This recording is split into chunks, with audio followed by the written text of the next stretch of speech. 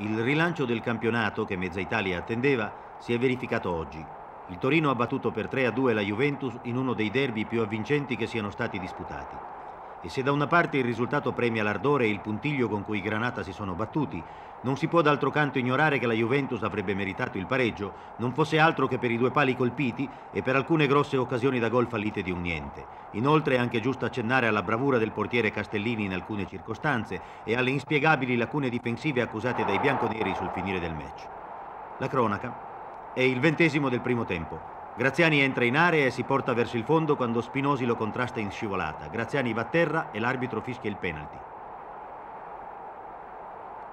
Pulici spiazza Zoff e segna. 27.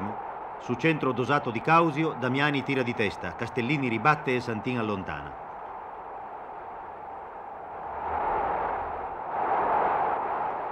34. Bettega lascia per Anastasi, che si trascina avanti la palla e centra di precisione. Bettega è puntualissimo e infila al volo.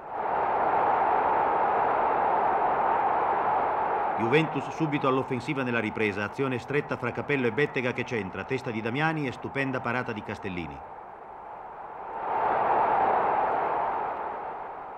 Subito dopo, su spiovente di Anastasi, ancora Damiani colpisce di testa e centra il palo. Tre minuti dopo, Bella azione di Anastasi che si libera bene per il tiro ma conclude al lato. Ventunesimo, di scena il Torino con Graziani che serve Zaccarelli, il cui tiro va alto. Capovolgimento di fronte, su corner di Causio, Damiani ancora di testa colpisce giusto. Castellini con l'aiuto del palo respinge e Capello che sopraggiunge spara in pieno sul portiere. 26esimo, pasticciaccio difensivo bianconero, su spiovente di Agroppi, Morini ribatte malamente. Scirea libera peggio alzando il rinvio e Gentile sta a guardare.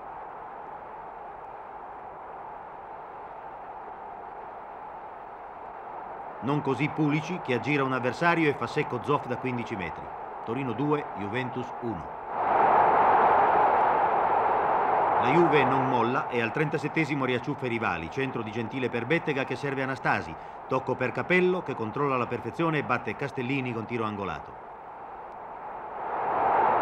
2 a 2. 42esimo scende Sala e centra per Graziani che tira, Zoff devia contro il montante. La palla rimbalza verso Groppi sul quale chiude Furino, ma sul rimpallo arriva Zaccarelli che infila da 8 metri. Torino 3, Juventus 2.